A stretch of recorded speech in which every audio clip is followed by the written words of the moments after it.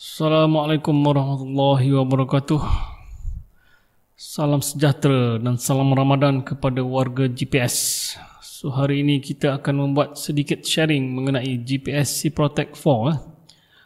Macam mana nak baca drawing dan juga protection yang ada dan juga troubleshooting lah.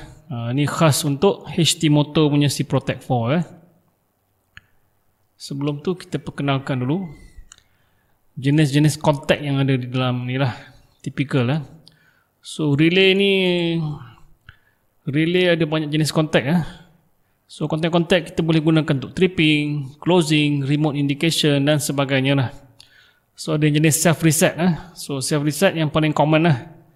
Uh, so contact remain in the operated condition while the controlling quantity is applied. Maknanya selagi relay tu energize uh, dia akan maintain lah normally open jadi close normally close jadi open. So dia akan self reset bila power tu dah di matikan ataupun dikeluarkan. Itu adalah jenis self reset jenis kedua ialah hand ataupun electrical reset lah. So dia remain in the operating conditions lagi controlling quantity tak remove lah. Contohnya uh, ni ada mechanical punya latch lah. dia latch.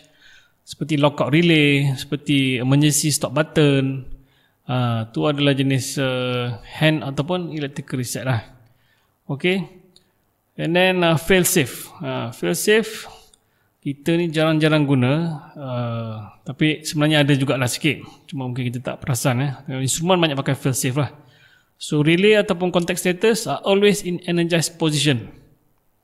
Uh, okay. Kalau normally open, it will be in closed position bila relay energized lah. So when the source is out or relay kaput, the relay resets to its state lah, fail safe. So masa healthy, relay ni always energized. Kalau macam electrical, kebiasaannya relay ni bila ada problem, bila nak trip, baru di baru dia akan energize. Eh? Bukan energize sok more. Ha. Ha. Tapi ada certain-certain circuit tu sentiasa energize. Macam circuit healthy, uh, macam K51 tu bila nak running tu dia kena energize lah. Ha, macam tu lah. Okay, so normally instrument lah yang pakai eh. Ha. So tapi kat kita ada pakai jugalah kat UV relay sebab UV relay selagi voltage tu ada, relay tu healthy lah. So bila tak ada, so we uh, UV relay is a one type of yang fail safe punya relay lah. So kita kena ingat lah, bila kita baca mana-mana drawing, when reading any circuit drawing, kita kena ingat convention of the contact sentiasa dalam keadaan de-energize sentiasa dalam keadaan tak ada power. Maknanya kalau kita nampak relay tu normally open ah, maknanya normally open lah. Dalam keadaan tak ada power kepada circuit tu lah. Ok so selalunya drawing tu akan dilukis dengan keadaan relay uh, control circuit power tiada eh.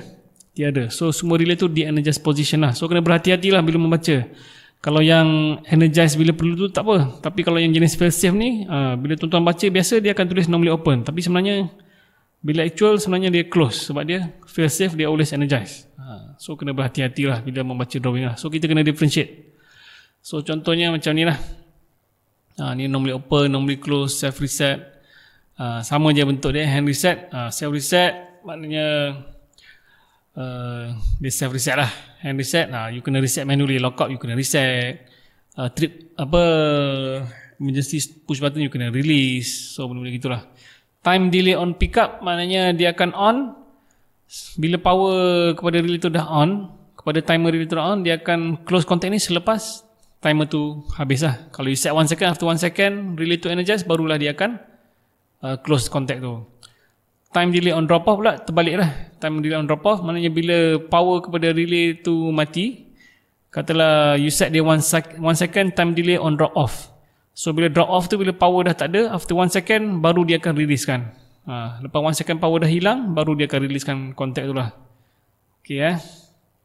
So tu sedikit sebanyak lah pasal contact dah ha, kalau sini-sini kita ni BO B4 ni uh, tak ada benda lah ni.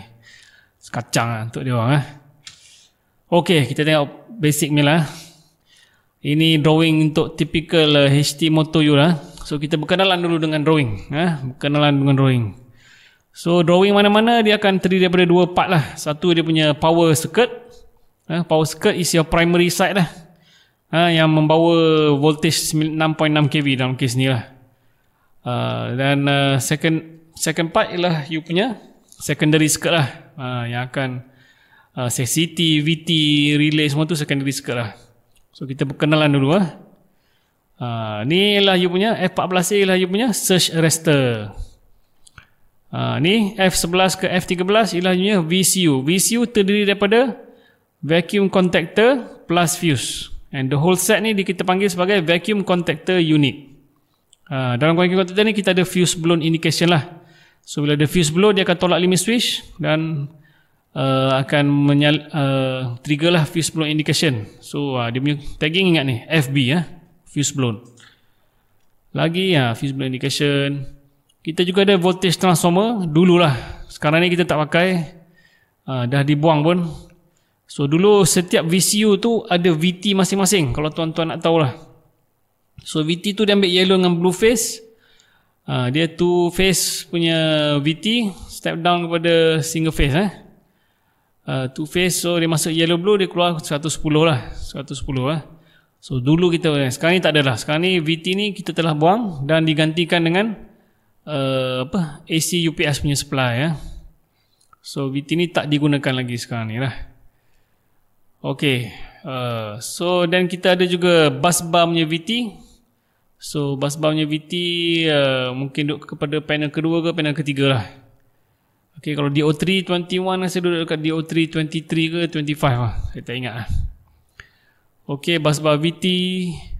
Uh, sini kita ada shorting link. Eh. Shorting link. Kita ada shorting link untuk CT. Phase CT. Kita ada juga shorting link untuk core balance CT. Uh, sorry metering CT. Uh, untuk uh, untuk capacity untuk capacity kita tengok next page ada tak shorting link so shorting link guna dia untuk men-shortkan city lah apabila uh, you nak buat kerja-kerja lah so you akan shortkan city sambung sini so you pun boleh cocok you punya you punya secondary injection dekat sini terminal 41 uh, dengan ni so belah second belah sini dia short ke and grounded belah sini you boleh inject lah secondary eh So dalam kes ni kita dia gunakan shorting link lah. Dia tak menggunakan test terminal block. Ha. Kalau di tempat lain dia mungkin tak ada shorting link tapi ada test terminal block. So terminal block boleh cabut dia automatic short shortkan tu lah CT. Okay. So this one. Uh, so daripada CT dia akan pergi ke relay ni F21. So kita tengok relay F21 ialah relay C Protect kita 7SJ6216. Uh, dulu kita ada juga CT upon CT tapi tak digunakan. Ini dulu punya jenis protection lama lah dia panggil SAMS relay ya. Siemens Siemens Advanced Motor Management System. Uh, SAMS sudah obsolete masa tu tahun 2008 2009 kita upgrade, kita ganti dengan 7SJ621 ni lah, C Protect 4 eh. Uh, and then this is our power meter lah. So power meter akan ada dua input lah, satu daripada CT, satu lagi daripada VT bus bar eh. Uh, and of course your external emitter lah, eh, kalau ada.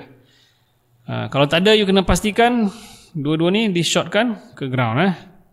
Ha, jangan lupa eh, kena short ke ground eh. Open circuit boleh meletup dia punya city uh, bukan city lah dekat dia punya tempat open tu lah. Uh, so and then last but not least kita ada city uh, face city. So dalam kes ni 75/5M 10P20 10 VA lah.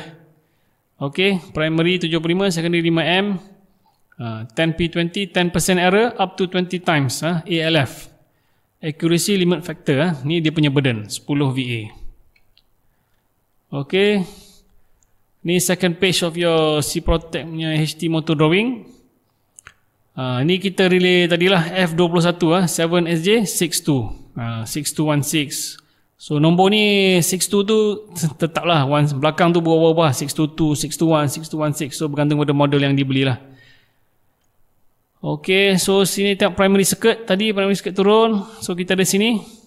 Pergi ke motor.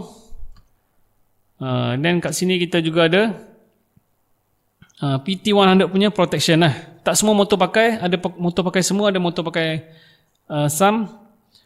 Uh, so macam first one ni F25, 26, 27. Kalau tak silap, this one is uh, untuk winding eh. Untuk manja winding eh. Kita check sekejap. Betul ke? 25, 26, 27 Okey Winding Sorry 27, 28 Bearing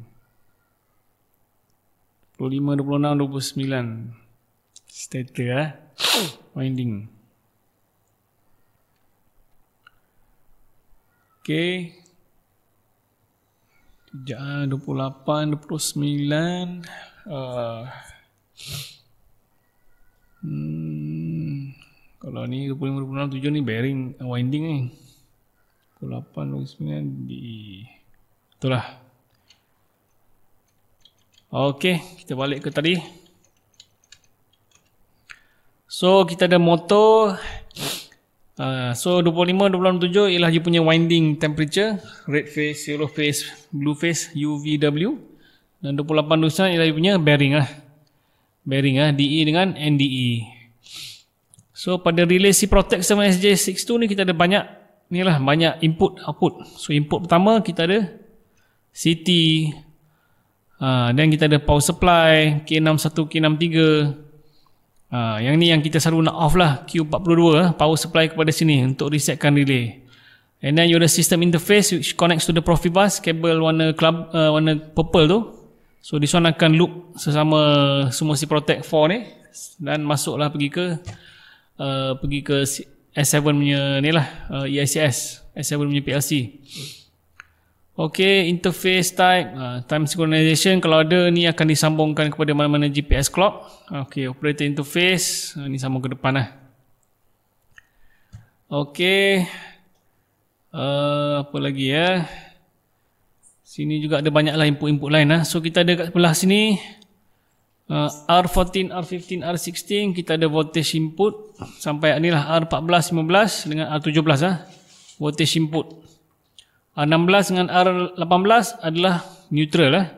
Neutral lah. So red yellow blue ialah 14, 15, 17. Uh, CT, Q, kalau CT Q lah. Kalau 14 sampai 18, dia punya voltage. And then F. Kalau F ni semua input lah. F uh, is your input. Dengan R pun input juga. So sini ada binary input 1, binary input 2, binary input 3. Sampailah ke binary input 8 eh. So kita ada 8 input. Ha. Untuk output pula kita ada 1 2 3 4 5 6 7 8. 8 output. Ha. For live status contact basically this is your macam you punya watchdog lah. Okay, kalau relay kaput ke ada internal fault, uh, this contact akan de-energize. Uh, this one is a fail safe punya contact. Selagi relay ni hidup, benda ni akan maintain close. Ataupun selagi relay ni tak ada problem, benda ni akan uh, energize lah all the time. Okay. So here we also have your core balance city lah. Eh? Core balance city kita sebenarnya macam city biasa je. 50 slash 1 tapi tiga-tiga wire masuk ke dalam city tersebut lah. So dia terletak di belah kabel lah. Keluar daripada bus bar, cable termination. Ha, so dia letak kat belah kabel lah. Okay, dia go kepada motor lah. So 51 slash 1M lah. Alright. Uh, apa lagi sini eh? Tak ada tak. Oh ni PT100 lah temperature untuk banding dengan bearing eh. Okay ni dah cerita tadi. So this page is kalau tuan-tuan tengok 52 eh, nombor ni 52 kalau pergi mana C52 ni adalah referring kepada you punya circuit breaker ataupun you punya uh, ni, vacuum contactor lah dalam case ni. So vacuum contactor kita sini uh, ada banyak ni komponen dalam dia. So kita ada Q31 supply untuk pergi ke coil ya. So tuan-tuan ingat K51 adalah you punya main uh, auxiliary contactor untuk on off kan you punya main contactor, main VCU lah.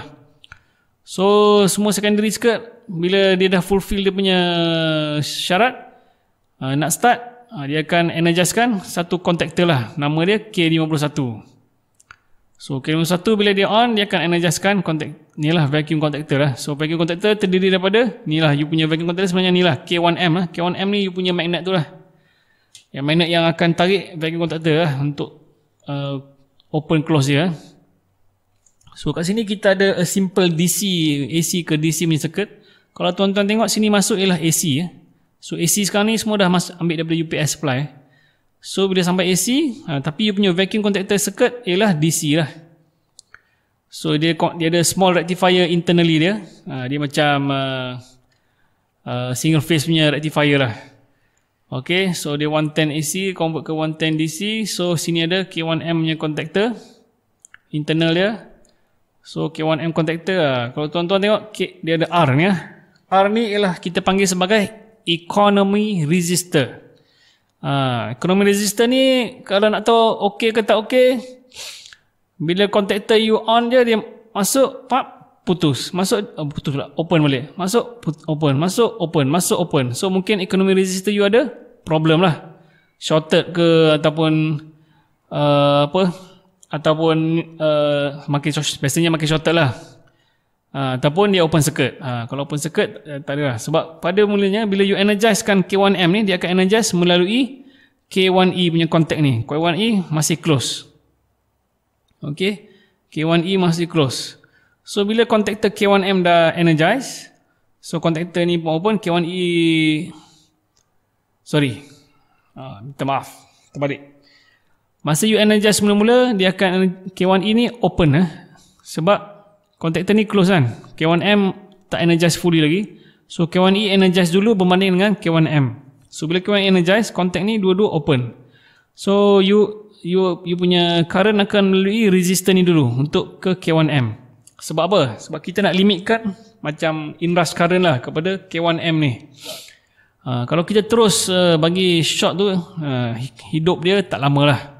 Ha, sebab sikit-sikit je high current, high current, oh terus energize, ha, dia akan experience high current. So bila uh, kita energize melalui mula-mula tu K1M, K1E energize, uh, K1E energize sebelum K1M, so current akan melalui R, economy resistor untuk energizekan K1M. So bila K1M dah energize fully, dia dah ada back EMF semua, so current dah makin menurun. So K1E pun di-energize bila K1M dah energize sebab ha, kontak ni dah open kan. Okey.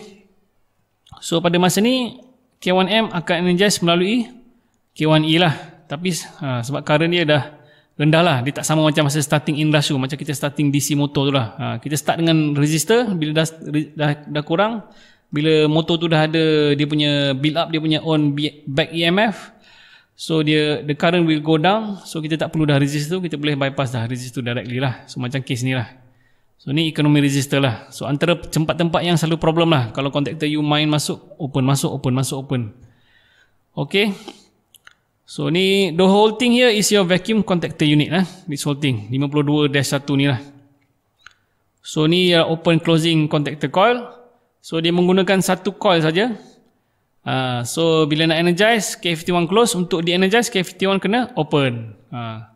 Certain brand lain macam ABB ke apa, ada juga yang pakai jenis dua coil lah. Uh, open coil lain, close coil lain. Walaupun dia vacuum contactor lah. So kita kena kenal dulu lah. So, kalau biasanya vacuum contactor nak muramnya, dia pakai, dia bagi satu coil lah.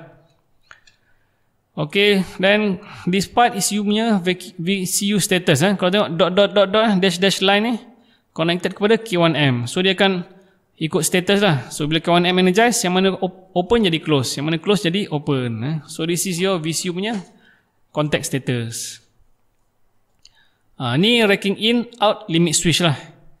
Ha, S31 eh. So position ke apa, kat sini tak nampak. Cuma tuan-tuan bila buka uh, panel record rack in VCU tu, tuan-tuan boleh cari kat mana kedudukan limit switch S31 ni lah. Ha. Oh, tapi S31 ni rasanya duduk kat dalam VCU ni juga. Ha. Eh tak. Ha. Okay, so dia akan bagi tahu lah. So bila dia sampai dekat uh, rack fully rack in, dia akan jadi open, jadi close lah. Gitulah. Okay. So sini apa? Sini ialah you punya dah start dah secondary circuit eh. Tadi pun dah secondary circuit, ni secondary lagi. Apa ni secondary circuit sajalah. So ni indication H41 sampai 43 you punya lamp, tri, ha? lampu. So yang ni Rasanya untuk trip on dengan off lah. Uh, then you ada relay power supply. So you punya relay untuk 7SJ, untuk PT100, uh, Jumo F14, uh, apa, power meter. Power meter atau relay lain lah. Saya tak ingat lah. Okay, and then uh, kat sini ada special lah. Hanya untuk switchboard ni ya. DO23 ya. Ke 20, 25 lah dia ada satu kontak yang datang daripada DO3 so DO3 ni dia ambil under voltage bila relay SMSJ dekat DO3 punya feeder tu naik under voltage so dia akan uh, apa de-energize kan relay ni lah. Dia akan energizekan relay ni. So bila relay ni energize, so dia akan hantarlah semua under voltage kepada setiap setiap ni lah, setiap panel dekat DO3, SB5 DO3 punya motor. Eh. Uh, tapi dia takkan trip on under voltage. This one dia akan masuk ke circuit healthy. Eh. Kita akan tengok lah. K44 ni duduk kat mana? K45 eh. Okey, lampu. Ah, ni heater. Tak ada apa dah. Okay, this is your start-stop circuit eh. So tuan-tuan fokus ke bahagian tengah dulu. Ah, sorry, ke sini dulu. Ni ialah circuit healthy check. Ha, dalam mana-mana condition, circuit healthy LED nombor 3 kenalah sentiasa menyala. Ha, kalau dia healthy ya, menunjukkan circuit to healthy. So dia check circuit apa sebenarnya? So dia akan check interlocking switch. Ha, you dah pusing tak handle kat depan tu. Ha, daripada apa melintang menjadi menegak ya, dekat depan VCU tu. Fuse blown ada tak? Kalau fuse blown tak trigger, maknanya dia akan maintain close. So untuk SCLT check ni, semua kontak dalam SCLT ni kena jadi close. Yang mana normally open, kena jadi close. So interlocking switch dia akan jadi close bila you dah pusing lah daripada melintang menjadi menegak. Fuse blown, uh, dia dia cuma trigger bila fuse blow saja. So bila fuse tak blow, dia akan maintain close lah. So daripada sini dia akan pergi ke stator bearing. Uh, kita akan tengok nanti. Stator dengan bearing. Okay. Dan dia akan kembali ke sini. Dan general fault.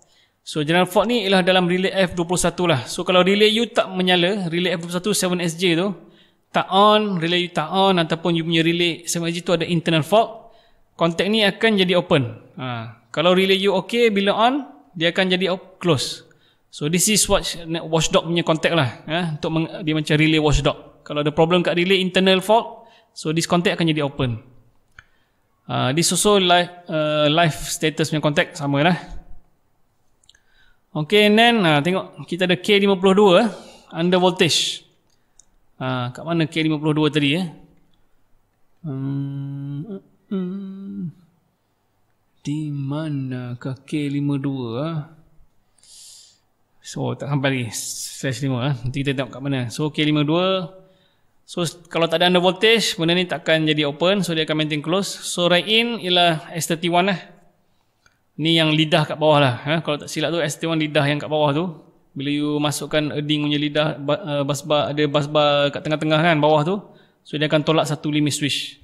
So that is ST1 lah. So daripada sini dia akan masuk ke you punya 2.3 lah. Which is your uh, sinilah circuit healthy ya. So dia akan masuk ke sini K12.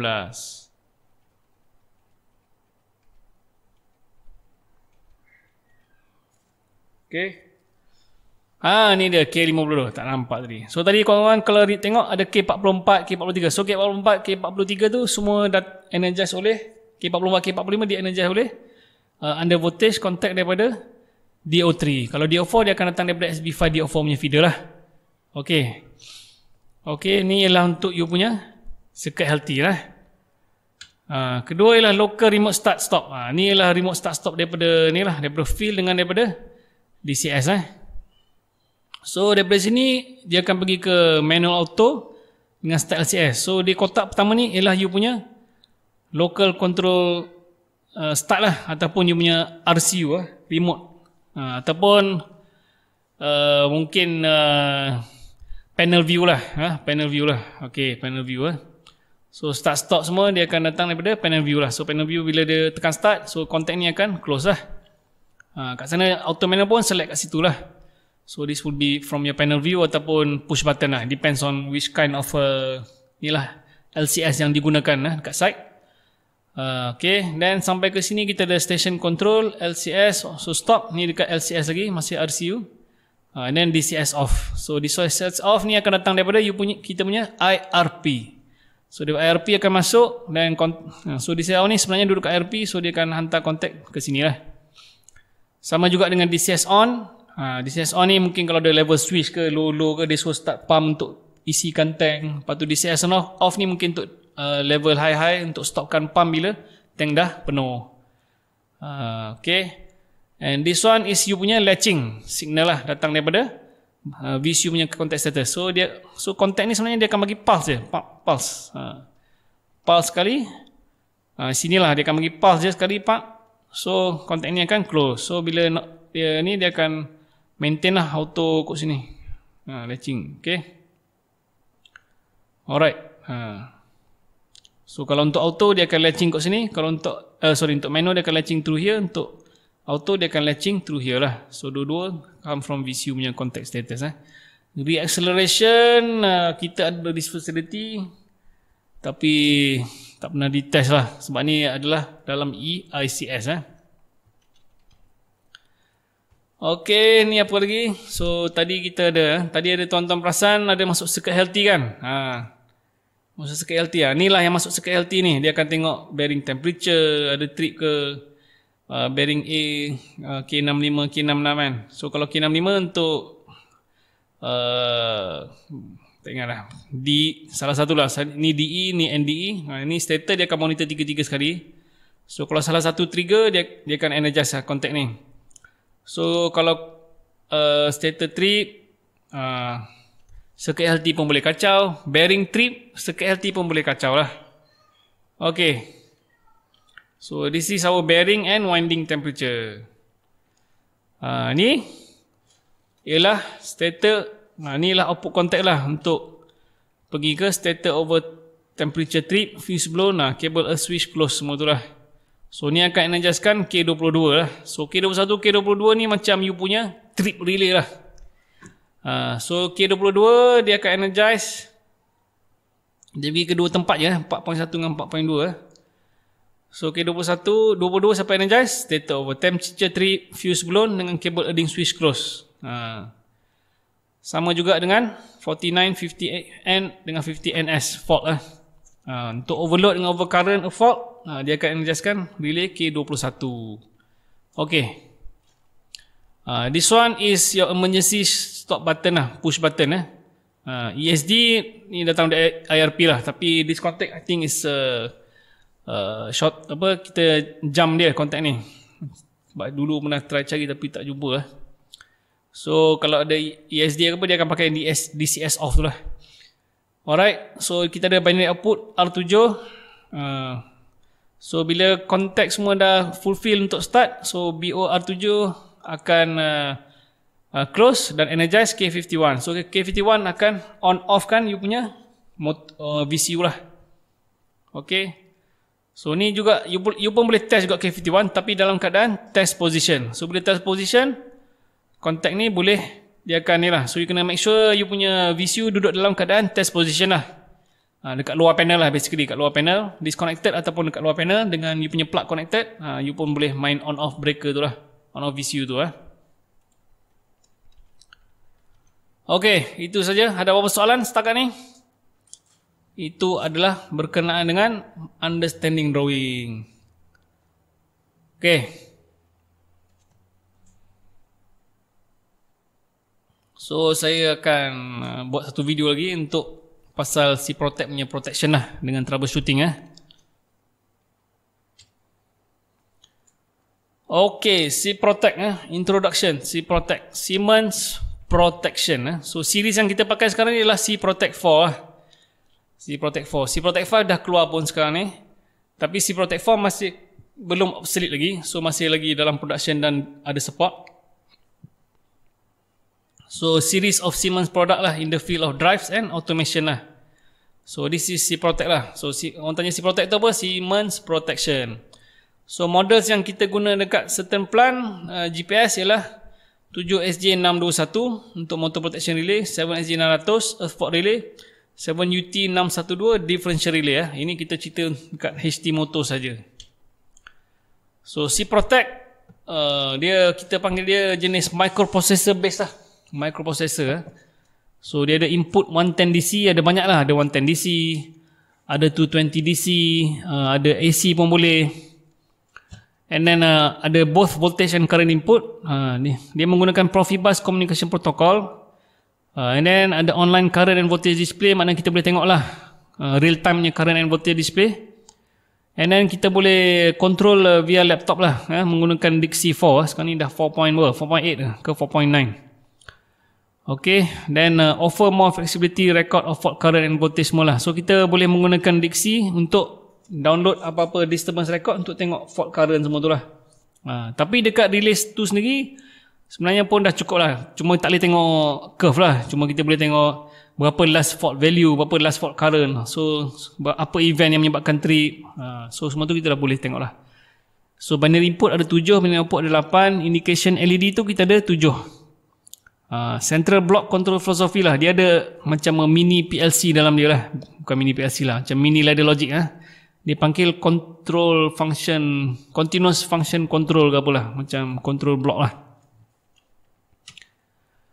Okay, this is your C Protect uh, 7SJ62, this is 7UT. Yang mana motor ada differential relay akan ada dua-dua relay, relay ni. Yang mana tak ada differential, dia hanya akan ada 7SJ62 sahaja. So, display kat sini ada voltage, current, uh, scroll LED. Uh, LED kita ada sampai 7. Function kita ada F1, F2, F3, F4. So, kita boleh assign manually apa benda ni. So, untuk reset kita tekan je LED lah, relay ni. Ya. Mudah sikit lah berbanding dengan relay ABB ya, dekat cogen tu lah. Ha.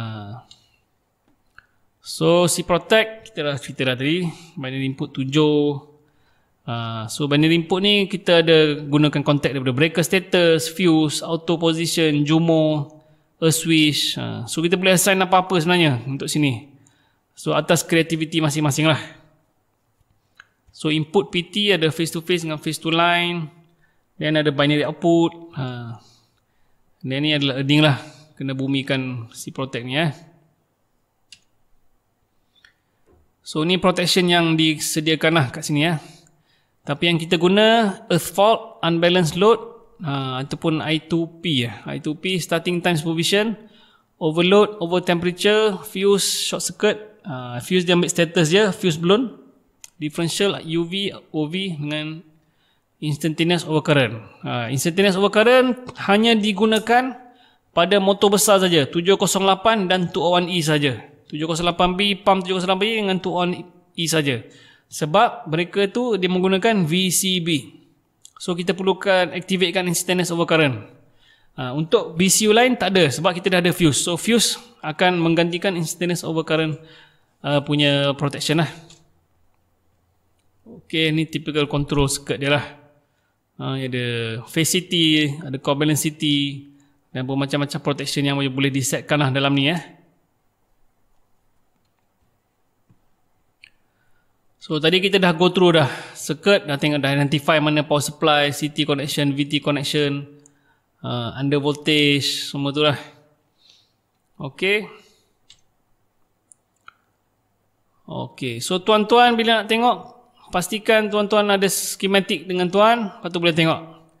Apakah komponen-komponen yang penting eh.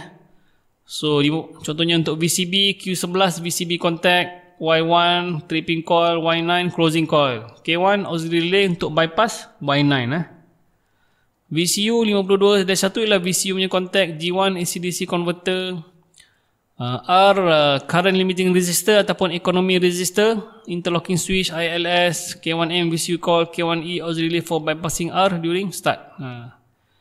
So common untuk kedua-dua kita ada a switch S11. S31 truck interlock. Ini yang bila tuan-tuan masuk jolok tu ada lidah dia akan tolak dia punya flapper tu ha, dan tolak limit switch lah tu K31. K21 K22 adalah trip lah. So kalau K21 K22 nyala maknanya ada tripping yang telah berlaku lah. Ha, so K21 K22 ada normal condition tak patutnya energize. K44 45 adalah auxiliary relay untuk UV. K51 ha, ni on off breaker lah. K52 UV auxiliary relay. Ha, jangan confuse lah K52 dengan 52 Dia satu ni lain lah. K52 relay lah. K64 winding temperature. K65 66 bearing temperature. F14 power meter dan so on lah. Okay. So circuit healthy supervision. So apa tujuan circuit healthy? Uh, dia sebenarnya monitor banyak benda. Sekali healthy supervision dia akan check beberapa benda lah. Satu, one tendency tu ada. Uh, relay life status okay. Uh, ni ni bukan uh, ni bukan ni bukan trip call supervision lah. Ni sekali healthy supervision lah. Yang confuse lah. So sekali healthy supervision uh, sorry, uh, ni LED nombor satu lah. Tadi saya silap lah LED nombor tiga. So sepatutnya LED nombor satu kena sentiasa menyala. So kalau sekali you sihat, LCS okey, tak ada trip, tak ada apa, running switch uh, open, So dia akan uh, menyala LED number one. So sebelum ni nak start motor, make sure LED number one menyala. Uh, LED number one akan sentiasa menyala. So kalau tak menyala, tuan-tuan kena check condition mana. Mungkin 110 DC tak ada, mungkin relay live status tak okey, maknanya relay 7SJ tu ada problem. Mungkin uh, fuse blow, so bila fuse blow dia akan trigger fuse blow punya limit switch, ha ataupun a switch masa tu tengah on. Ha, selagi switch tak dibuka, dibuka dia akan ni lah. Ha, ataupun winding bearing temperature trigger lah. Ha, winding ada naik, bearing temperature pun ada naik. Okay, and then ILS dalam tak uh, berada dalam keadaan melintang interlocking switch tu. So kalau salah satu ni tak meet, dia akan menyebabkan you punya LED number one tidak menyala. Selagi LED number one tidak menyala, motor tidak boleh start. Kalau lah motor tengah running dan salah satu ni uh, fail ataupun uh, tiba-tiba fuse, uh, fuse blow of course lah. Uh, winding naik, uh, so circuit healthy akan de-energize dan akan menyebabkan motor menjadi stop. Uh, okay? Ataupun trip lah. Kalau circuit healthy saja dia akan menyebabkan motor jadi stop kalau circuit healthy saja lah. Okay, so kita ada over temperature protection. So, through detection of motor winding and bearing temperature, using RTD PT100, signal is fed to the relay through Jumo lah. Uh, 3 for winding, 2 for bearing. Eh. Setting bearing 85 darjah Celsius, winding 110 darjah Celsius lah.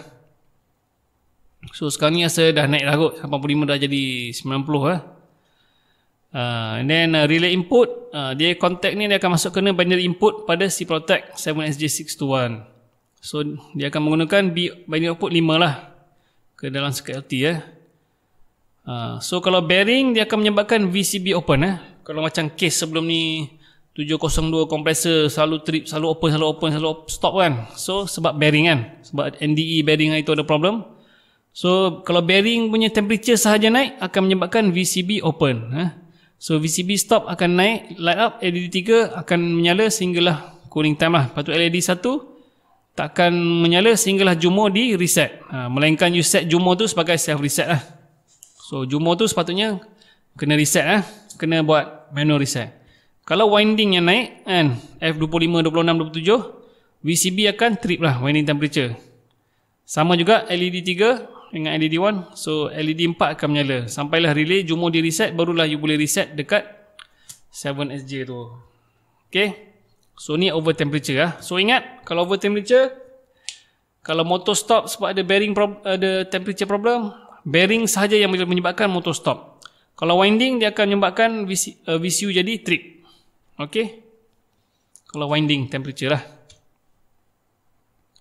Ni earth fault protection pula. Kita ada source core balance city. Ha, tengok ni duduk belah bawah. Duduk belah bawah daripada ni uh, kabel breakout eh. So kalau tuan-tuan perasan ni adalah 3 3 core punya kabel uh, ni adalah tempat kabel termination start eh. so yang hitam ni kita panggil sebagai sotong ataupun kabel breakout uh, kalau tuan-tuan nak letak city ke apa kena make sure city ni duduk bawah daripada erding dia eh. erding kabel termination jangan letak pula city ni sama dengan sama level dekat sini dengan hitam ah salah Ha, sebab situ sebab kabel breakout ni ialah tempat erding eh. So kita nak letak apa-apa benda lain yang ni bawah kepada erding. Kalau kita letak atas lagi daripada sini kat kawasan merah, so kita telah menyebab uh, boleh menyebabkan ada PD ke corona discharge in the long run lah. Ha, sebab once dia keluar after hitam ni, this is already the weak point of the cable lah. Ha, so kalau ikut kat insulation sini, dia tebal. So apa-apa kita letak CT ke apa kena letak bawah daripada cable breakout mana-mana ha, sama ada single core ataupun uh, three core lah ok core balance CT lah tu tambahan lah ok so setting kita definite mean time maknanya cukup je pick up current dia akan terus trip lah so definite mean time kita set, set ialah 100 millisecond uh, so dia menggunakan IEE dengan IEE lah so setting dia dua-dua sama lah Uh, IEE, so dia refer kepada sensitive earth fault uh, dalam protection ni lah.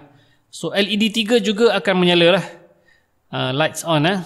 Uh, so bila trigger dia akan VCB VCU akan trip. So ni adalah fault protection dia lah. Range yang you boleh ubah lah. So kecil sebenarnya. Sekarang ni kita set 0.1 M. You boleh pergi sebenarnya sampai 0.01 M lah. Uh, ni untuk yang jenis pakai sensitive earth fault lah. sensitive fault lah kalau pakai normal transformer maknanya pakai summation lah tu kurang sikit lah alright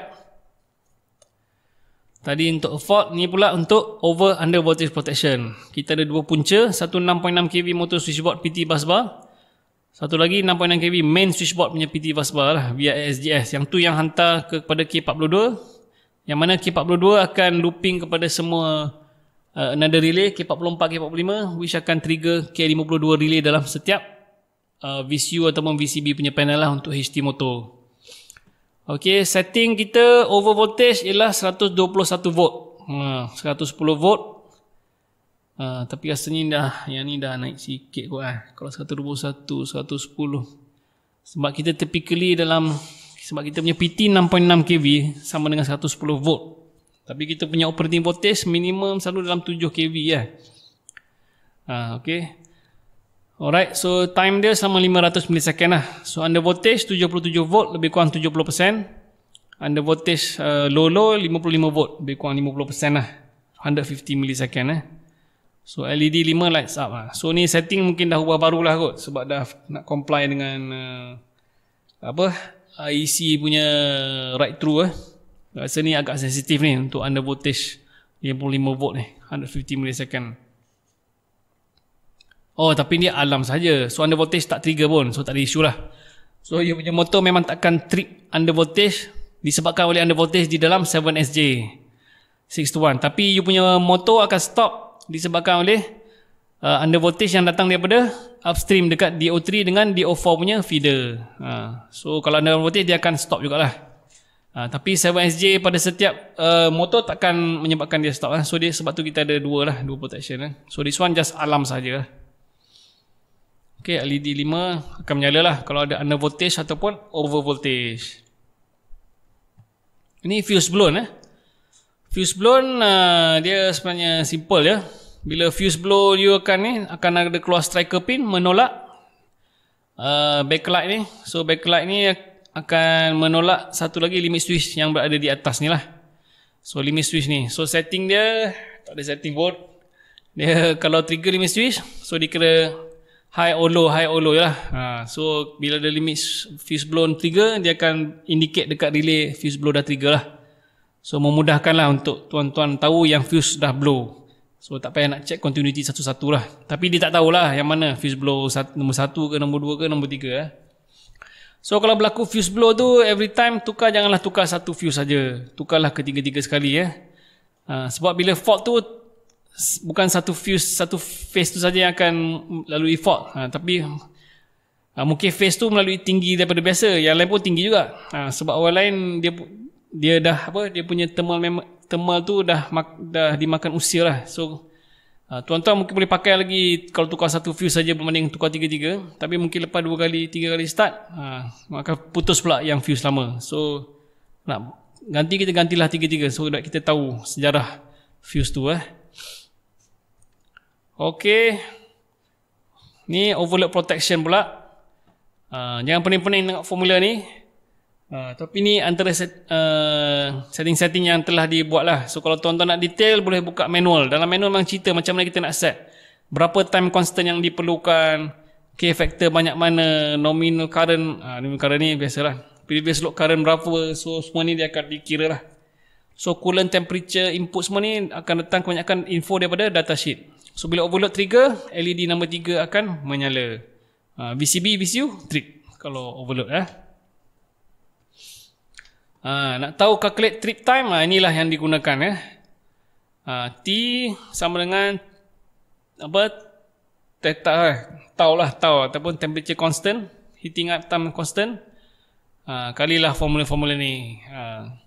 So, masa motor mula-mula run, I pre ni tak adalah. I pre ni macam uh, preload current. So, kalau masa start mula-mula, I preload ni tak ada. So just formula ni bahagi dengan ni saja. So bila motor dah running tu, uh, air preload akan masuk lah ke dalam ni. Formula. So dia akan trip lebih laju. Bila you dah running lah. So ni contoh lah. Eh. So ni kalau you pakai tau time time constant tau ni 10 minit, 20 minit, 50 minit, 100 minit. Uh, apa-apa kita boleh calculate ni berdasarkan kepada log rotor time yang di allow dalam datasheet motor. Uh, so kita boleh calculate that tau berdasarkan tu lah. Okay, so di sini tak ada tunjuk formula macam nak calculate tau, tapi dalam manual ni ada cerita lah. Uh, basically you kena make sure curve ni duduk bawah daripada motor punya damage curve. Uh, kalau motor damage curve sini, so ambil lah 20 minit ke, 10 minit ke, 5 minit ke, uh, macam tu lah. Eh. Okay, ni motor starting protection. Nama dah motor starting. So dia akan monitor masa starting motor saja ataupun bila current melebihi dia punya pick up current lah. So I start up. So sebab dia nak tahu motor ni tengah starting ataupun motor ni tengah lock. So I start up current kita set dalam 1.5 ke 2 kali daripada full load current.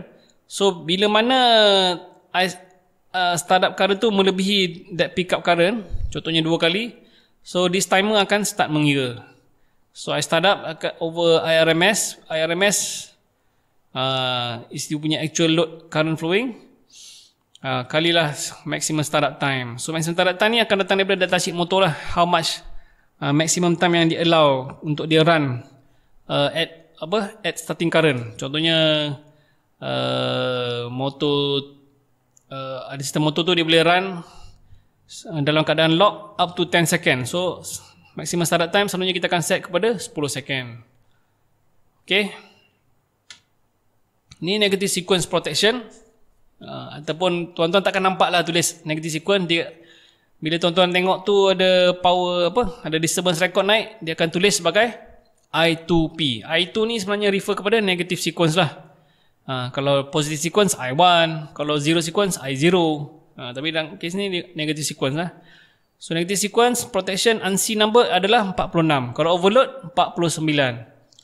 Ha, dia beza dia dia measure yang tadi overload dia measure actual current positive sequence punya current. Kalau negative sequence dia akan measure negative sequence punya current lah. So under normal condition kalau voltage balance current balance negative sequence ni takkan ada. Negative sequence current memang akan zero. Ok so tapi katalah ada sedikit imbalance. Ha, voltage tak balance ke uh, satu phase hilang ke apa kan So negative sequence current akan naik So dia akan start measure lah The negative sequence punya current eh. So cara Dia measure Sama je macam overcurrent biasa Lebih pick up setting So dia akan ada timer dia Berapa TMS yang you set ah.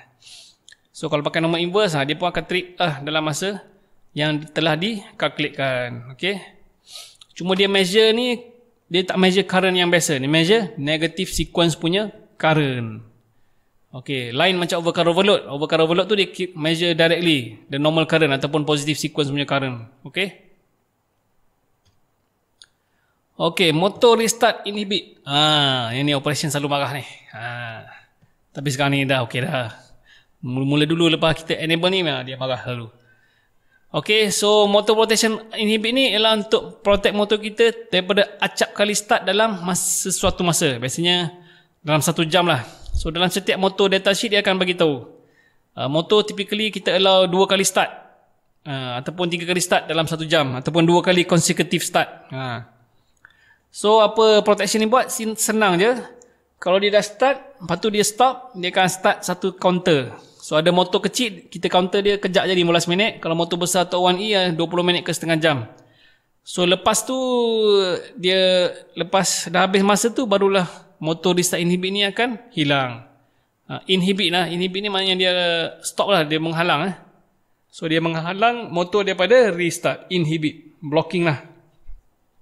Dengan bahasa mudah sikit. Eh. So kalau rotor restart inhibit, LED berapa nyala? LED 3 lah. Okay, kita ada juga continuous function chart. Eh.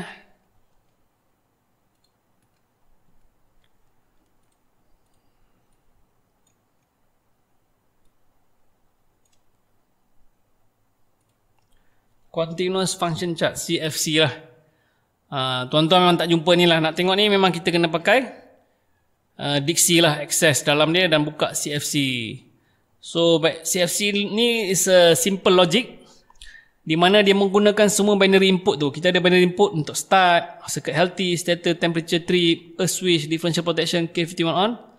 Uh, dan masuklah ke dalam CFC ni dan dia akan buat dia punya logik lah. So antara dia, output dia lah circuit healthy, status over temperature trip, ha, LED one menyala dan sebagainya lah. Tapi tak perlu pening sangat. Ha, benda ni sekali set, kita tak ada orang nak kacau dah.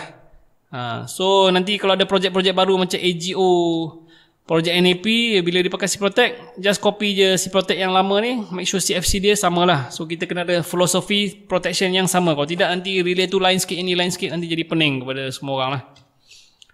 So ni logik dia lah. Kita takkan ber, bercerita panjang sangat lah. Okay, kita revise balik. LED indication satu sekali hati ya. Kena sentiasa ada sebelum motor nak start. Nombor dua akan menyala apabila local start ataupun uh, panel view tekan start and uh, healthy dan kita punya C-Protect dah menerima start punya uh, apa command lah. So selagi start command tak datang, nombor dua tak akan menyala. So start command ni akan datang daripada field ke daripada DCS lah. So nombor satu sentiasa menyala, nombor dua menanti start command daripada field ataupun daripada DCS. Okay, nombor tiga adalah protection. Ha, apa yang boleh trigger nombor tiga? Ha, tuan-tuan kena tengok. Mungkin negative sequence ataupun unbalance, startup supervisory. Ha, ini every time motor start, mem- uh, motor stop memang nombor tiga akan menyala. Disebabkan oleh startup supervisory. Ha, motor start protection pun boleh menyebabkan LED 3 menyala, overload dan of fault. Nombor 4, stator winding saja. Untuk nombor 5 akan menyala apabila under voltage trigger, over voltage trigger ataupun a switch dalam keadaan on dan juga disebabkan oleh fuse blow. LED 6 kalau tuan uh, uh, motor tu ada menggunakan differential, LED 6 akan uh, digunakan untuk menunjukkan differential protection lah. Dah trigger. Kalau tak ada, Benda ni tak digunakan LED nombor 6 ah. Nombor 7 ialah relay trip. Ah, relay trip ah. Relay trip uh, maknanya kalau ada tripping relay tu uh, mesti, akan ada banyak relay yang menyala lah. So katalah kalau trip ah, kalau stop tak ada. Kalau stop uh, cuma LED 1 dengan LED 3 saja menyala. Uh, ataupun LED 3 saja menyala. Kalau trip biasanya akan ada 3 dengan 7 ataupun 4 dengan 7 ataupun ha, 3 dengan 7 ataupun 4 dengan 7 lah hmm. alright so yang ni semua banyak input tak termasuk lah alright. Apa lagi ya sorry nombor 3 dengan 7 je akan nyala kalau dari elektrik so 4 dengan 7, 4 dengan 7 tak akan nyala 5 dengan 7 memang tak akan nyala. Sebab nombor 4 tu binary input lah. Oh terlupa pula. Okey, so kalau tuan-tuan nak reset motor start protection tu yang nak kena tunggu setengah jam ke, tuan-tuan boleh off 34 Q42 dan on balik lah. Tapi kalau boleh tak payah buat lah. Sempat je nak tunggu 30 minit ha, dan lah bagi operation check apa-apa. You all pun boleh check apa-apa something betul ke trip actual ataupun just fast trip. Ha, so make sure sebelum nak start motor tu check lah betul-betul eh. Last alarm, last event eh. Okey, kita ada juga function button kat depan tu F1, F2, F3, F4 spare ya. F1 functional test. Uh, kita boleh tekan F1 untuk functional test. Uh, mana nak try on off breaker. Uh, dia akan tapi unit mestilah kat dalam rack out position eh. Uh, dan plug mesti disambung lah. Uh, lepas tu interlock S13 mesti open lah. Okey, so tekan S1 contactor VCU akan open close. Uh, close open, close open. Okey. Uh, tu untuk testing. Untuk F2, kalau tuan-tuan tekan F2, boleh tengok primary values of the motor. F3 pula, untuk view the last fault of the relay. Contohnya, oh, dipanggil shift, oh, motor trip ataupun motor stop. Tak sure, motor stop ke motor trip. Kalau tuan-tuan nak tahu motor trip ke tak, tengok LED 7 menyala ke tak.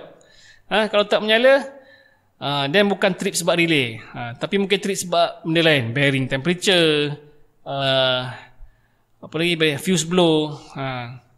so kalau tuan nak nak pastikan apa tak pergi je kat situ pergi kat relay C protect tekan F3 so F3 akan terus pergi kepada the last fault of the relay lah uh, fault of the relay include not only trip but as well as detection of abnormal condition eh. so even uh, kalau dia masa start dia ada pick up uh, motor start supervision tapi tak trip dia pun akan masuk ke dalam disturbance record lah akan jadi last fault lah uh, okay So dia cuma ada 8 memori saja, memori sebanyak 8. Uh, so tuan pun boleh tengok juga kepada event log lah. Uh, so event log ada sebanyak 200 saja memori. So event log akan tell you apa yang berlaku Uh, bila motor start, bila motor stop, bila motor trip, relay siapa ada tekan LED F3 reset apa? Uh, LED punya reset button. Uh, so semua tu kita boleh tahulah daripada event. Alright. Uh, ni last slide kita. So untuk troubleshooting, tuan-tuan kena pastikanlah bila motor trip ke stop, kena tahu stop sebab apa, trip sebab apa. Janganlah terus nak reset dan terus biar motor tu di startkan semula. Ha, kalau tuan-tuan tak tahu ni pakai hentam chroma reset je ha, dan kita punya starting uh, kita tak start to a good point lah. Ha. So bila trip tu kita boleh tahu. Kalau motor nak VCB VCB trip dia cuma boleh disebabkan oleh earth fault, overload, over voltage, differential protection, fuse blow, a switch on dengan temperature winding sahaja. Ini ini saja yang boleh menyebabkan trigger trip. Ha. Tapi yang boleh trigger stop, selalunya silent stop ni dia main dekat circuit healthy lah. Uh, ah, LCS stop, Jumo bearing temperature, macam case hari itulah untuk K702 tu. Emergency stop push button, ESD, DCS off, external signal, DCS, PLC, loss of 110 DC supply. Uh, ni semua part of circuit healthy ataupun you lose uh, signal daripada DCS dan lain-lain lah. So kita boleh tahulah. Ya. Yeah daripada daripada event log tu kita boleh tahu apa sebenarnya yang berlaku just before the tripping or the stopping eh. Ini je saya minta tuan-tuan tolong check eh. Kalau trip betul tolonglah tekan F3 tengok apa last fault. Ha, dia akan cakap relay trip ha, tapi relay trip sebab apa? Fault apa? Ha, berapa current dia? Berapa ni? So mudah je tekan F3 lepas tu scroll atas bawah nak tengok apa dia punya event dalam uh, last fault tu. Okay. So janganlah takut sangat nak bermain dengan si protect lepas ni ya. Alright. Itu saja tuan-tuan. Sekian. Terima kasih.